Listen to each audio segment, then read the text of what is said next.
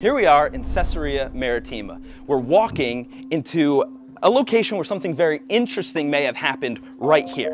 In the book of Acts, there's a story about Agrippa. He comes to meet with his subjects and he gives a speech. He walks out onto the stage in dazzling apparel. And all of his citizens are gathered to hear these words from their king. Well, his speech was so profound and so incredible that at the end of it, they got up on their feet shouting, This is the voice of a God and not a man. At that moment, he had a decision to make. Does he receive the praise of his people or does he give that praise to God?